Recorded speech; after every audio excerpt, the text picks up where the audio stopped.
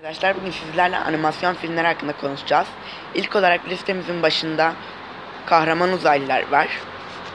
Listemizin ikinci sırasında ise Köstebekgiller Perili Orman var. Bu Türk filmidir. Çok güzel bir filmdir. Herkesin izlemesini tavsiye ederim arkadaşlar.